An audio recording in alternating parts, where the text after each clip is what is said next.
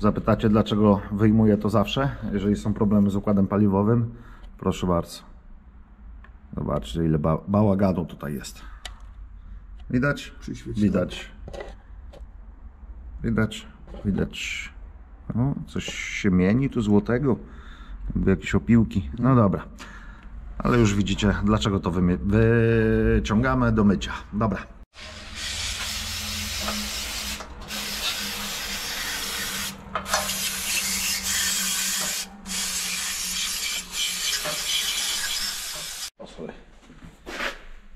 Dobrze, na tyle nam się udało to wyczyścić. Tak to wygląda po czyszczeniu. Możecie zauważyć. Chyba jest zdecydowanie lepiej. Idziemy to montować. Ale co musimy wykonać, żeby być pewni, że to będzie odpalać? Jeżeli tu, tu mamy pompowtryski pod tym deklem, jeżeli gniazda wtrysków będą ok, no to wystarczy wymienić sam komplet uszczelniaczy. Takich o. O takich numerach wymieniamy uszczelniacze, także co? Ja Was zapraszam do oglądania, a my działamy.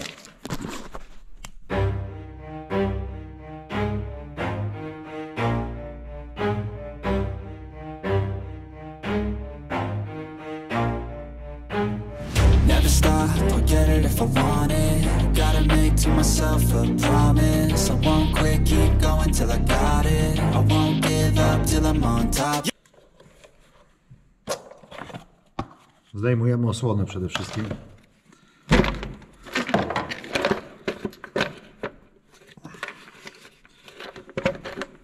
No, wiedziałem, że ty tak sobie nie pójdziesz. Okej. E, Tu ponoć głowica była już robiona. Ponoć, nie wiem. Nie wiem, ale ponoć. Dobra, daj teraz te tutaj, te koniki. Tutaj mamy wtyczki do wtrysków, odpinamy je i zapinamy w swoje prowadnice na każdym wtrysku.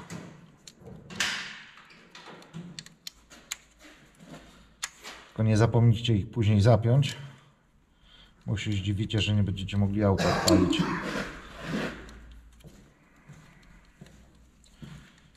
A jak możecie zobaczyć, ktoś, ktoś tu już był, jakaś dwójeczka napisana, tu jakaś jedyneczka napisana. Wtryski też ponumerowane. Nie wiem po co. A może tak potrzeba.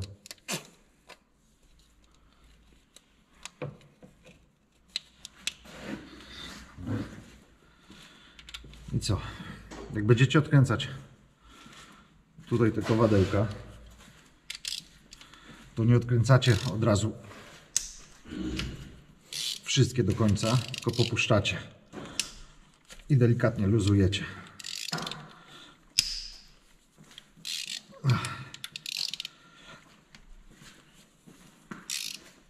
Czyli tą trochę, tą trochę i tak po kolei luzujecie sobie.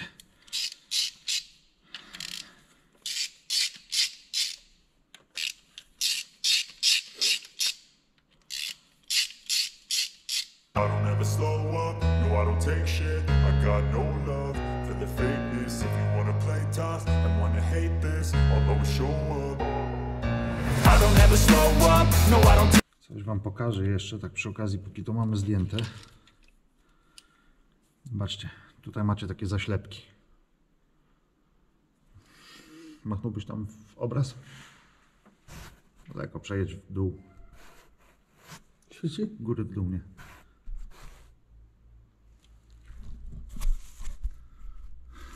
O. Tutaj macie takie zaślepki.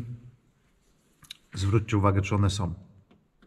Jeżeli one lubią wypadać, jeżeli tej zaślepki tutaj nie macie na tym czy na tym końcu, auto straci ciśnienie oleju. Także pamiętajcie, jak już macie to rozebrane, żeby na to popatrzeć. Dobra, to odkładamy na bok i odkręcamy następny.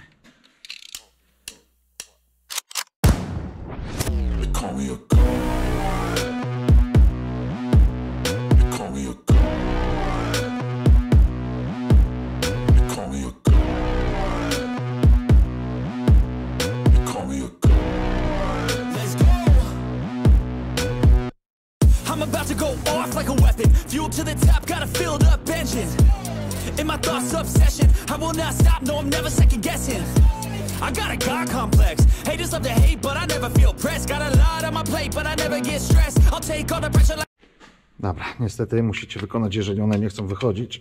Tu ciągniecie sobie za tą sprężynę i w ten sposób na przykład pomagacie sobie śrubokrętem lewo, prawo, lewo, prawo. On wam coraz lżej zacznie iść i w końcu wyjdzie. O, i wyszedł. Jak możecie zauważyć, mamy wyjęty już pompowtrysk. Jest, jest. Słuchajcie, uszczelki wyglądają kiepsko. Szczególnie ta czerwona tutaj. No, miało prawo uciekać paliwo. Nie wiem, czy wy to zobaczycie. Widzisz to? Marcel? Patrz, jaka zmruszała. No, to miało prawo uciekać. Także już wiecie mniej więcej jak wyjąć. Dobra. Skoro mamy ten jeden, ja go sobie tylko tak na razie położę, no to walczymy z następnym i tak aż wszystkie cztery. Niektóre, słuchajcie, dwa ruchy i one same wychodzą. O, widzicie?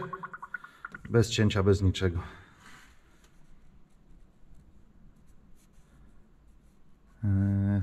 Ten wygląda jak tu by był ścięty, ale lepiej wygląda od tamtego.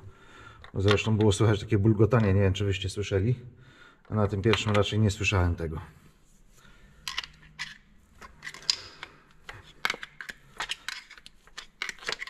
O, też nie było słychać.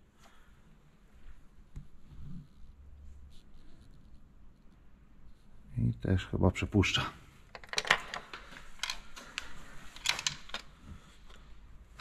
O, z tym chyba nie będzie wesoło. Tylko pamiętajcie, żeby tu o metal, nie o wtyczkę czasami sobie tym śrubokrętem nie zahaczyć, bo będziecie mieli pompotrysk do wymiany.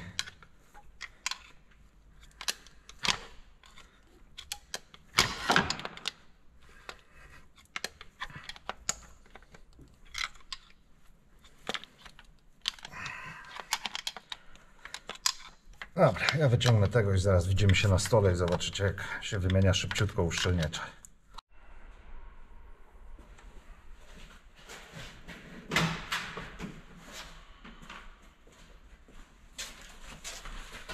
No dobra. Macie taki pompowtrysk. Marcela poprosimy jeszcze o zestaw nowy, naprawczy i kombinerki. Kombinerki tu będą potrzebne.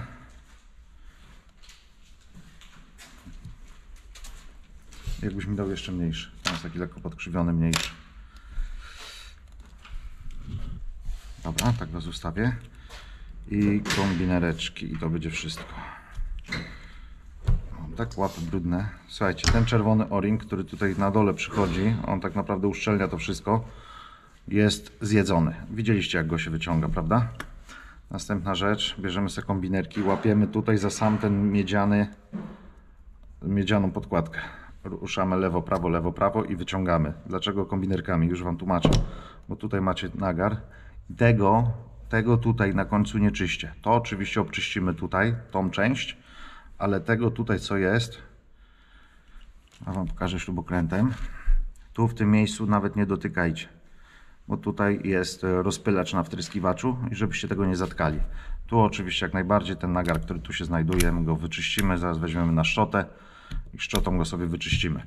Teraz tak, zdejmujecie sobie taką podkładkę, nie ma znaczenia. E, O, jest, już myślałem, że ktoś nie dał.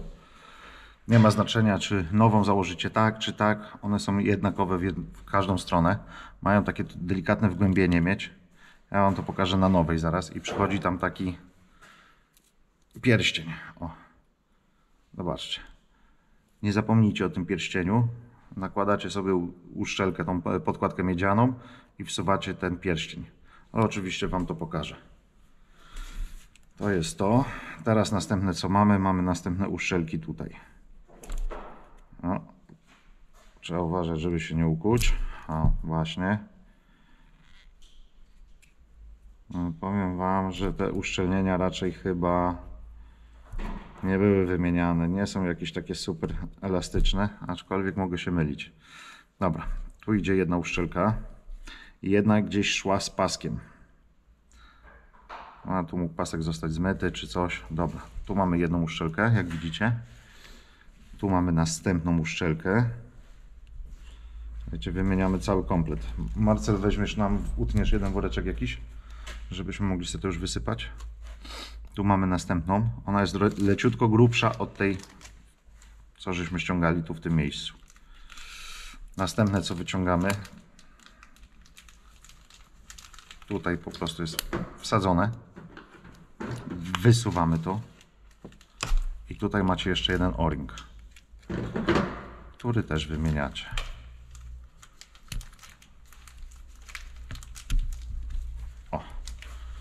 Bierzemy i go tak sobie wydłubujemy. Tak?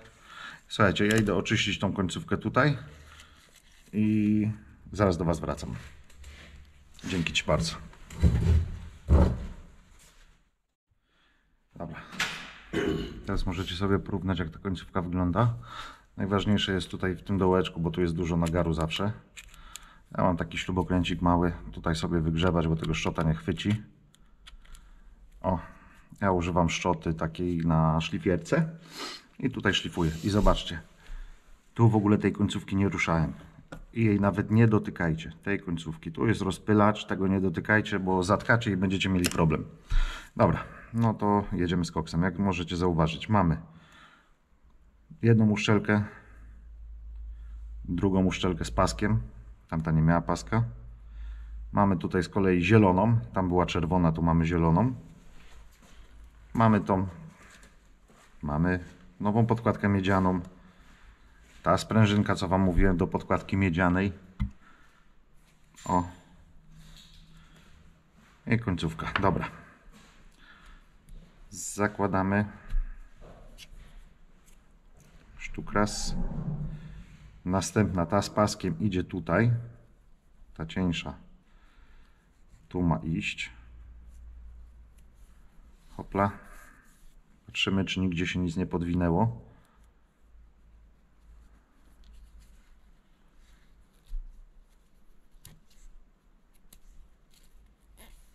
Ok, mamy te trzy wymienione. Tutaj sobie wsadzamy teraz tą.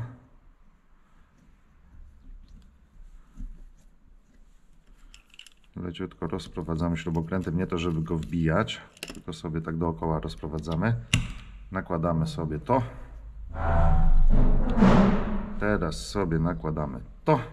I widzicie, jak nie nałożymy tego pierścienia, to zobaczcie, podkładka nam wyleci. Ale jak nałożymy ten pierścień, on naprawdę tak w miarę ciasno wchodzi tutaj. Leciutko go śrubokrętem sobie podociskamy. Tak, tak, tak. Dobra, jeszcze benzynkę poprosimy, bo my to przemyjemy wszystko. Teraz zobaczcie, widzicie? Podkładka siedzi. I bez obaw możecie ją wkładać, wyciągać. Nie wyleci Wam. I oczywiście zaraz Wam pokażę co dalej. Tylko wymienię jeszcze tamte trzy. I później Wam pokażę jak to wszystko poustawiać. Bo to nie ma tak, że Wy sobie to włożycie jak chcecie. Absolutnie nie.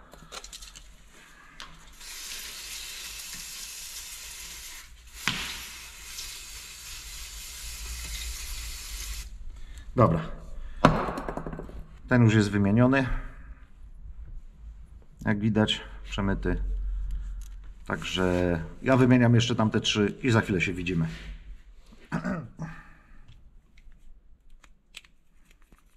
Dobra, kończymy czy- czwartą, ostatnią. Jeszcze szybkie mycie.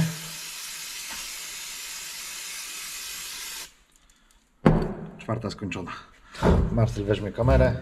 Ja idę tam i zaraz wam pokażę co dalej.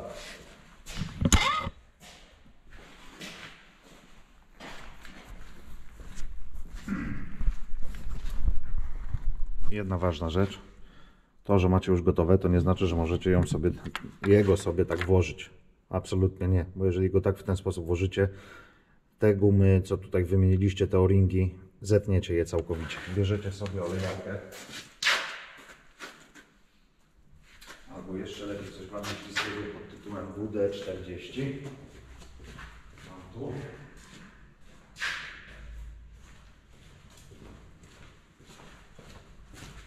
Chodzi o to, żeby miało to wszystko poślizg i to taki dosyć spory poślizg. Te wszystkie uszczelki porządnie opryskać trzeba właśnie czymś, co jest śliskie. I teraz wsuwamy sobie tutaj i żadnym młotkiem, żadny nic. Musicie tak na tyle to kombinować, żeby to Wam wskoczyło.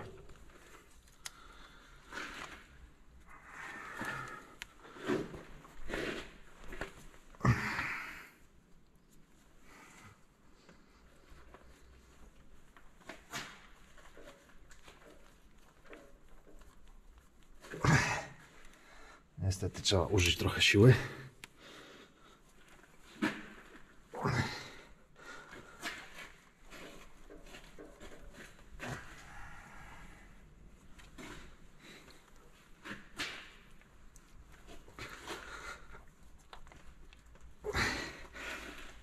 I jeszcze. Czy już? Też takie same ruchy robicie. Kręcąc, wpychacie go. Chyba nie przyjdzie do głowy uderzać czymkolwiek, żeby go wbić. Mamy, siedzi. Tak jak widzicie, nie siedzą. Ten siedzi i zaraz Wam pokażę, jak wcisnę te wszystkie. To zaraz Wam pokażę, jak je dalej ustawiać. Dobrze, teraz troszeczkę muszę Wam opowiedzieć. Są te wtryski już powkładane na swoje miejsca. I teraz to nie jest tak, że Wy sobie te stopki tutaj przykręcicie i będzie wszystko grało. Absolutnie nie. Albo do ustawienia takich wtrysków używacie takiego grzebienia, a nie każdy może mieć taki grzebień, dostęp do takiego grzebienia, więc bierzecie sobie suwmiarkę. I teraz z suwmiarką ale zanim zmierzycie suwmiarką, musicie rozpoznać, jakie macie wtryski. Są wtryski starego typu i nowego typu. Nowego typu mają tutaj, już Wam pokazuję, widzicie tu jakby klucz założyć, to jest takie cieniutkie.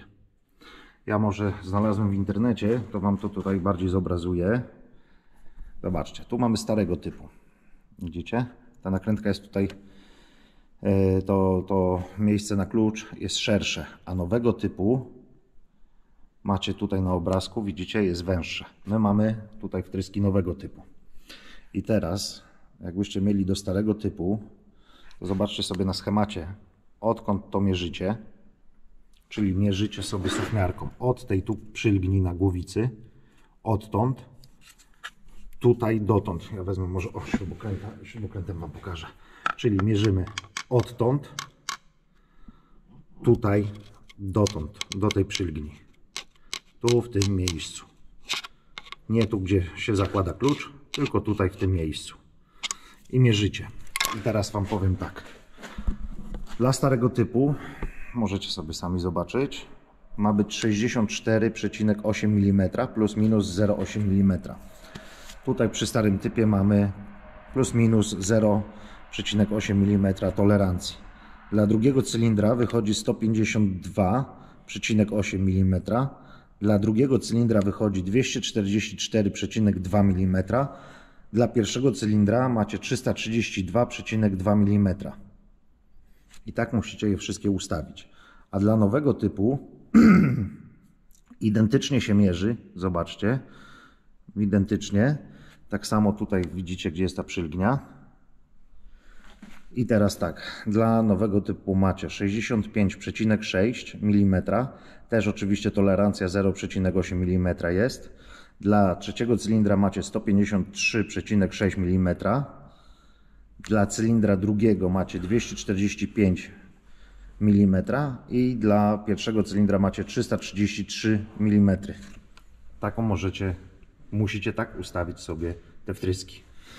Mając ten przyrząd, co ja mam, o tyle ułatwia życie. On też oczywiście ma regulację. Tylko u mnie to jest zaznaczone nie jako na tym, tym grzbiecie. Słuchajcie, nie, to, nie ma tak, że jest nowy typ lub stary typ, tylko mam Bosch lub Siemens. I tym pokrętłem mogę sobie regulować. Tak, jeżeli przekręcę w tą stronę, no to dajmy na to mam starego typu, w tą stronę to mam dajmy na to nowego typu. Zaraz Wam pokażę, jak to zainstalować i jak je się tu ustawia, z jakim momentem to wszystko się dokręca. Dajcie mi sekundę, tylko się przygotuję. Dobrze, teraz sobie weźmiemy i tą listwę tutaj przygotujemy. Te wtryski najlepiej sobie podsuwać w tą stronę Teraz zobaczcie, jak macie taką listwę, to tą śrubą zapieracie się tam z tyłu za głowicę. My akurat tutaj ją się zaprzemy. A, tylko że co musimy zrobić? Musimy wykręcić sobie wtyczkę od wtrysku, bo nie wejdziemy. O! Przykręcamy sobie tą listwę.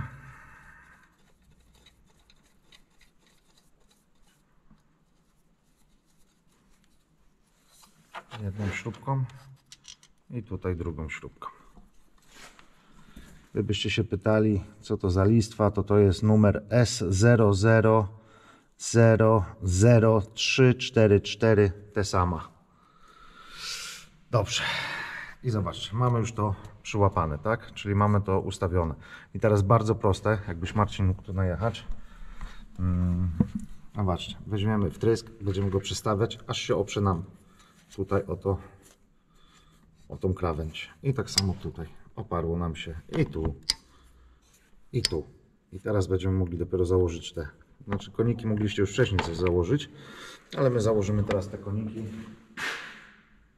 Oczywiście tam już są wydmuchane te, te, te miejsca pod gwinty. Niestety używamy starych. Powinno się zawsze wymieniać na nowe śruby, pamiętajcie.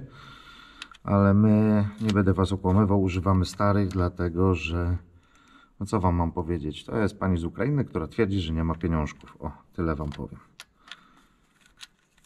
Normalnie zawsze wymieniamy na nowe. Dobra. I w ten sposób zakładamy wszystkie cztery koniki i zaraz Wam podam momenty dokręcania.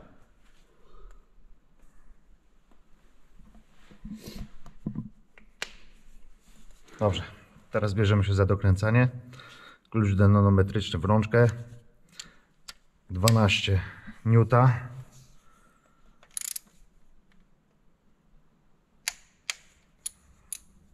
Nie myślcie, że to wszystko.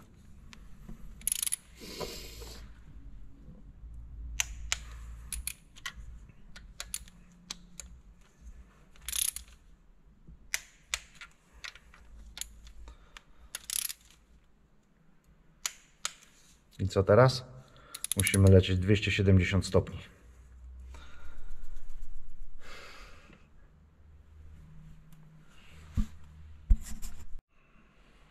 I teraz to jest ten moment, kiedy przy starych śrubach możecie zrobić sobie kuku. Nie wiem dlaczego się na to zgodziłem. 90.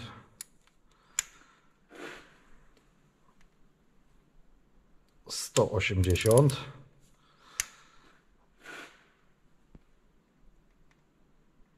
dwieście siedemdziesiąt i słuchajcie, może ta śruba bardzo szybko pęknąć, dlatego warto zawsze wymienić je. One nie są drogie. 90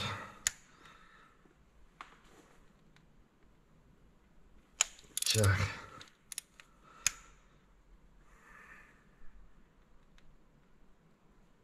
Ok. Na razie jest ok. Ostatnia została. Raz. Dwa.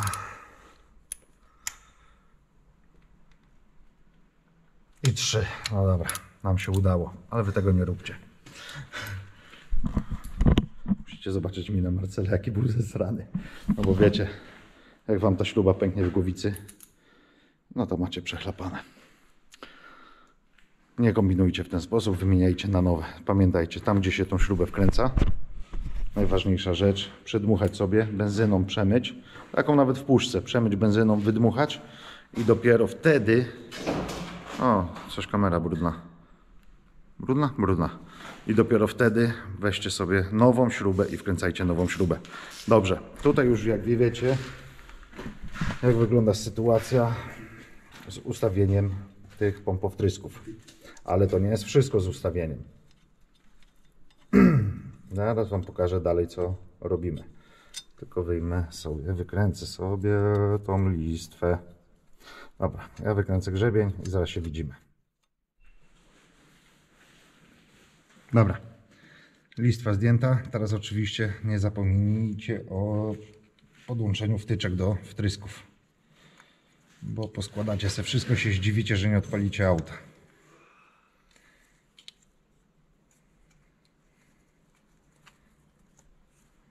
Wpinamy i sprawdźcie, czy są dobrze wpięte te wtryski. Żeby nie było, że później od wstrząsów Wam wypadną wtyczki.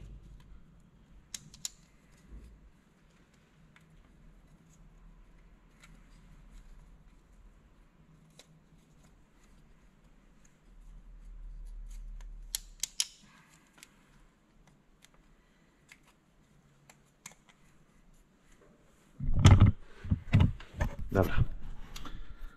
Wtyczki powpinane, wtryski ustawione, ale dalej to nie wszystko.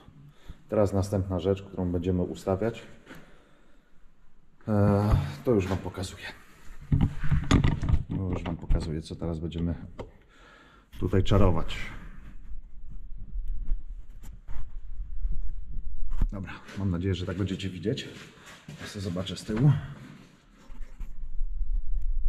O, dobra.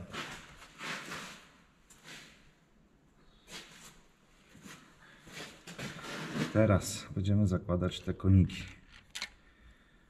Zrobiłem jeden minus. Nie powtarzajcie po mnie tego minusa. Nie popuściłem tutaj tej kontry. Tej, tej. Wiadomo, na wtryskach. Powinniśmy popuścić te kontry wcześniej. Ja sobie zaraz je popuszczę. Bo teraz co? Trzeba ustawić sobie. O. O. Lekko przyłapiemy. Jak zapomnicie tych kontr odkręcić, to się nie martwcie. Wystarczy, żebyście tylko tych śrub, które tutaj mam, nie dokręcali za mocno. Odpuszczamy kontry. A, dobra, to jest 19, przepraszam. 19 i tam będzie imbus. Bodajże 6.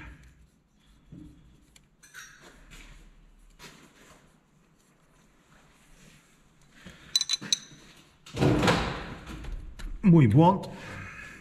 18.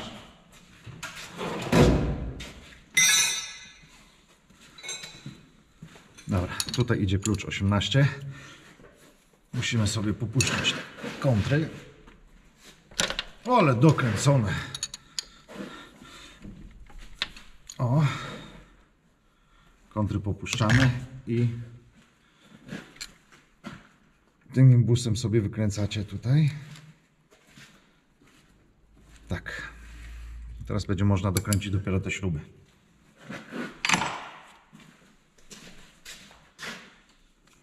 Dobra, 20 Nm i jedziemy. I też po trochu, nie od razu jedną, bo to musi się wszystko ładnie ułożyć.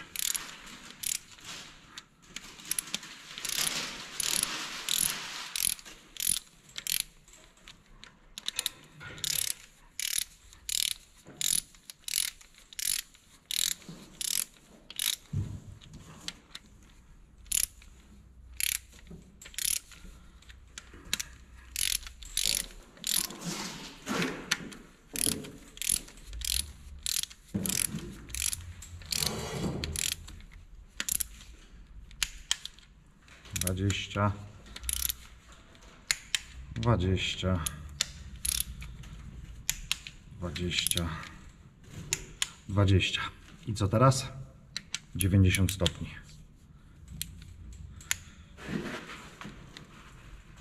Ciach. Te to są mniej prawdopodobne, że pękną. Ciach.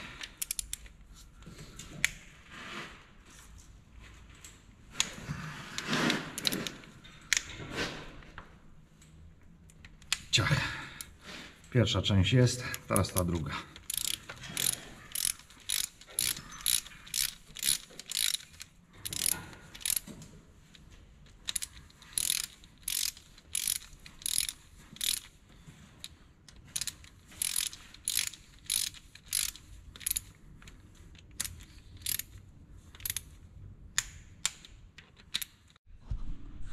Dobrze. I teraz tak. Jak widzicie mamy czujnik zegarowy. Tu sobie ustawimy na czujnik zegarowy. Marcel będzie kręcił i musimy tą stopką zejść najniżej jak tylko jest możliwe. To Marcel tak szybko kręci, że ten wskaźnik zasuwa jak głupi. A, stop. Zobaczcie, tutaj troszeczkę źle to zdałem. Tu musimy się zaprzeć. No jest ciężko. Tu się zaprzemy. Dobra. Schodzimy. Aż wskazówka nam nie będzie się już ruszała. Czekaj. Coś. Musicie dokładnie ustawić sobie taki czujnik zegarowy. Lub jeżeli go nie macie, no to na oko będziecie robić pewnie.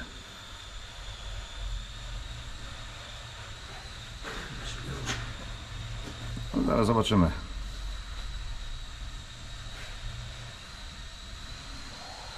Dobra, idzie w górę, czyli tam już mieliśmy na sam dół. Czyli co, wracamy sobie do tamtej pozycji leciutko.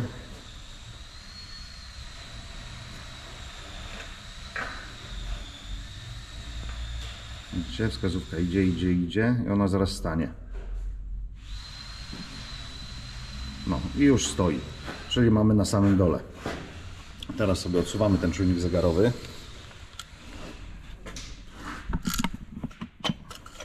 Ciach. Bierzemy sobie imbusa. Kontrę na maksa wykręcamy. I teraz tak. Kręcimy, aż będzie opór. Stawię tylko ten czujnik zegarowy. Kręcimy, kręcimy, kręcimy, aż poczujemy taki wyczuwalny opór. Kręcamy. Jest opór. I cofamy o 180 stopni. Ciach, mamy. Dokręcamy sobie kontrę. Trzymając tutaj tego imbusa, dokręcamy sobie kontrę. Jak już je wszystkie tak podokręcamy, o, to te kontry dokręcamy później chyba 25 Nm. 30. 30. Ja Wam zaraz pokażę to jeszcze na schemacie ile. I tak robimy z każdym. Tak? Czyli bierzemy się za następny na przykład. Znowu ustawiamy sobie czujnik zegarowy. No niestety jest to trochę zabawy, żeby ustawić ten czujnik zegarowy. O.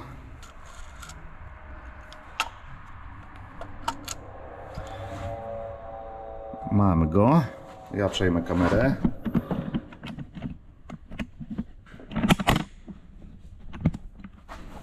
I teraz Marcel kręci, aż ten drugi zacznie nam schodzić do samego dołu. Co? Ja wam jeszcze tutaj wezmę, bo pewnie narzekacie na światło. Poczekaj Marcel, e, jakąś latarkę weźmiemy. Jakąś dobrą latarkę. No niestety to jest GoPro, do niego nie ma oświetlenia. Gdzieś tutaj ustawimy sobie tą latarkę od tyłu. Odsłoń. Aha.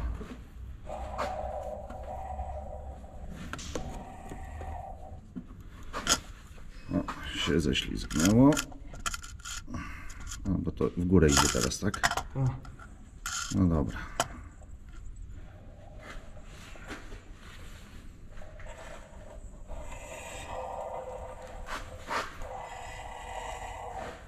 I schodzi nam w dół, prawda? On musi nam całkowicie zejść w dół. Aż zegar przestanie się obracać.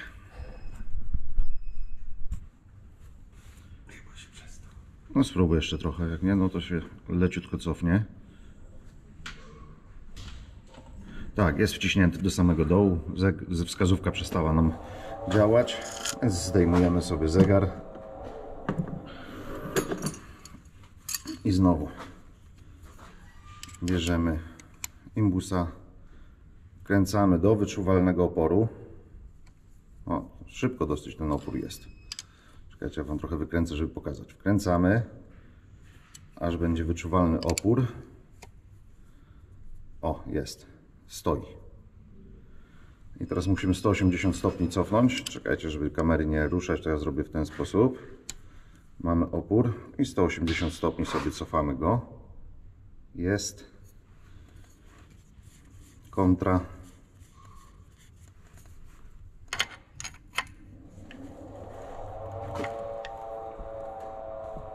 I dokręcamy kontrę. Po tych wszystkich zabiegach, jak już poustawiacie, Oto sobie te weźmiecie dynanometr i 30 Nm podokręcacie je. O, dobra, zostawimy go nawet tak sobie o, w ten sposób, żebyście widzieli teraz następny. A czekaj, czekaj, panie dzieju. Dobra, zejdę trochę. Zejdziesz trochę. O. się ustawić tutaj znowu na tym. No to schodź. Czekaj, o, tak ustawimy. No, gdybyście nie mieli czujnika zegarowego, no to oczywiście patrzycie na oko, aż to, ten konik sobie zejdzie na sam Widzicie, on już zszedł na sam dół.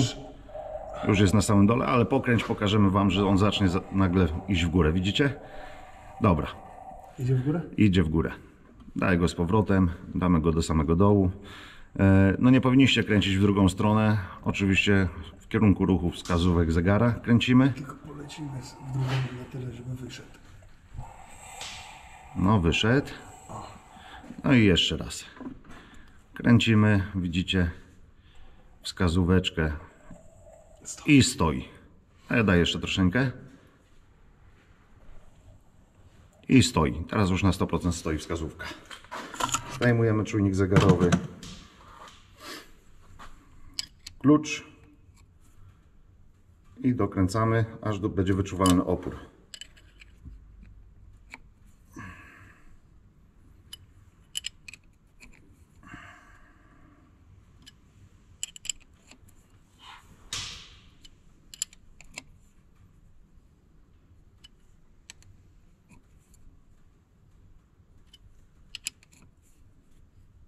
Jest opór. I co? Cofamy 180 stopni. Jest. Klucz. I dokręcamy sobie kontrę.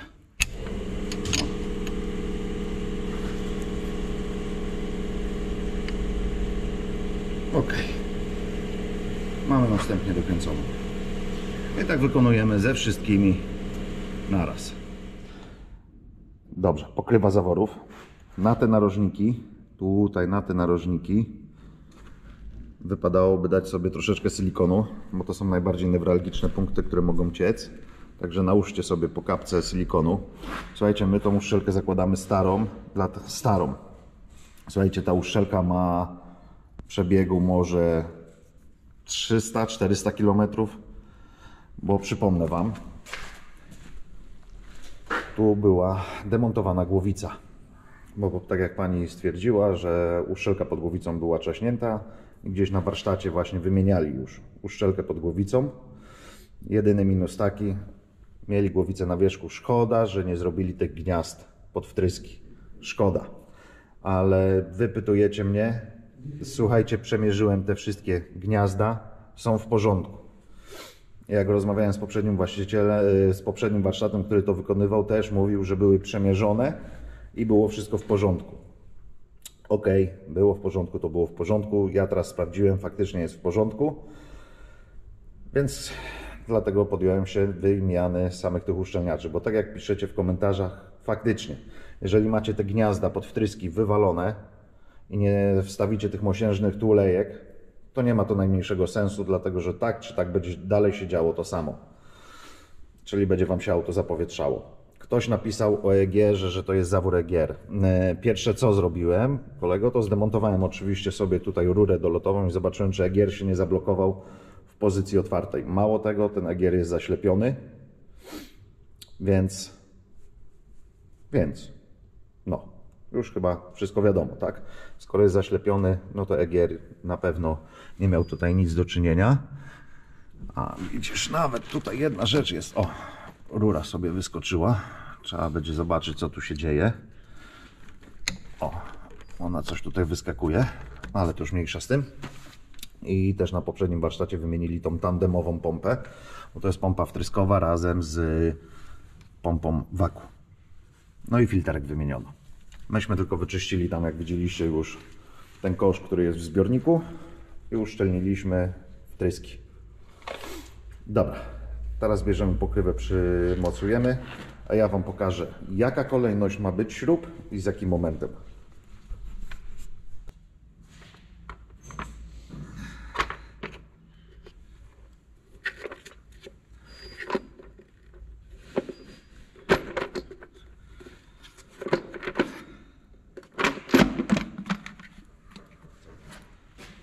Jest y, 10? No i 10 Nm. A widać tu? To, to wszystko się nagrywa mocno. Tak. Także nawet nie wiem, czy wam to puszczę, czy nie. Jak będą dzwonić z fotowoltaiki, to. Ileż mam tych telefonów o fotowoltaice? Już mam dość.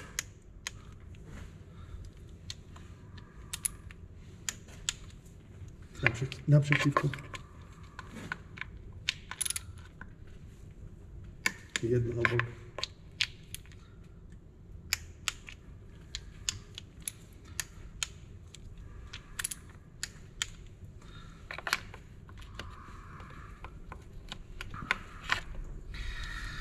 Dłuższa przedłużka. Było trzeba mi na krótką dać.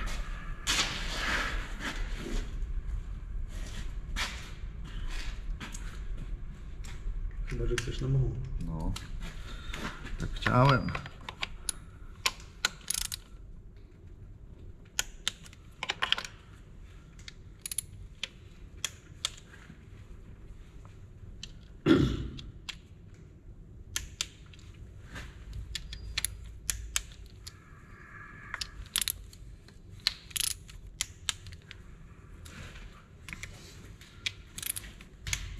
Okej.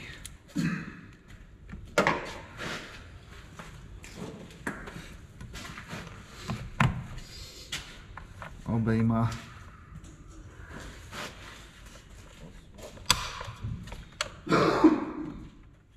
Dobrze. I tutaj możecie sobie zauważyć, jaką macie kolejność dokręcania śrub pokrywy zaworów. Widzicie? Widzicie. Ile dokręcamy? 10 Nm każdą śrubę. I jak będziecie pilnować tej kolejności, która tutaj jest, i tych 10 N, w 99% nie cieknie wtedy ta uszczelka. Dobrze. I tutaj możecie sobie zacząć czytać, jak potrzebujecie. A jak już Was tak ustawię. Macie momenty, macie wszystko. Jaka kolejność, jakie co. Oczywiście tu mówią, żeby te dźwigienki powymieniać, te śruby regulacyjne, nakrętki, kontry powymieniać. Tutaj macie ten ściągacz taki, żeby wy, wyciągnąć sobie wtrysk. Ale jak widzieliście, jak ja to zrobiłem, także nie ma problemu. Schodzimy, schodzimy, schodzimy niżej i zaraz Wam coś pokażę. O. Tutaj macie właśnie TT. Nie wiem, czy już Wam tego nie nagrywałem. O, tu jak widzicie dwójeczkę należy wymienić. Jeżeli ona nie jest zużyta, to nie ma potrzeby wymiany. Ale chcę zejść Wam. Chcę Wam zejść. Gdzie chcę Wam zejść? O, tutaj. Początkowe ustawienie wtryskiwacza. Zamocować czujnik zegarowy, jeżeli macie. Obrócić wał korbowy zgodnie z ruchem wskazówek zegara do momentu, aż wałek wahacza znajdzie się na maksymalnej wysokości. Czyli wałek wahacza ma się znaleźć na maksymalnej, a dźwigienka ma zejść na sam dół. Hmm. Czujnik zegarowy powinien znajdować się na minimalnej wartości. Zdemontować czujnik zegarowy, obrócić śrubę regulacyjną do momentu wyczucia zdecydowanego oporu. To, co Wam pokazywałem. Wtryskiwacz znajdzie się przy ograniczniku. Cofnąć śrubę regulacyjną 180 stopni. Macie? Przytrzymać śrubę regulacyjną w położeniu, dokręcić nakrętkę zabezpieczającą 30 Nm. To, co Marcel mnie poprawił. Ponownie podłączyć okablowanie wtryskiwaczy paliwa. No myśmy wcześniej już to zrobili. Także już wiecie, jak to jak to podokręcać. No tu mamy zacisk przytrzymujący wtryskiwacza 12 Nm, 270 stopni, to co Wam pokazywałem. Osłona głowicy cylindrów, czyli pokrywa zaworów 10 N. Mm, oś dźwigienek zaworowych, wymienić śruby oczywiście, silnik etap pierwszy 20 Nm, etap drugi 90 stopni, no i tu są narzędzia specjalne. Dobra, ja jeszcze dokręcę sobie tam 30 Nm. A Wam co? Jeżeli się film podobał, dajcie znać w komentarzach, czy się podobało, czy się nie podobało. O, ale jestem brudny. Przepraszam najmocniej, ale po prostu jestem brudny. Dobra, jeżeli się podobało, dajcie znać. A ja co, zapraszam Was na następny film. Pozdrawiam.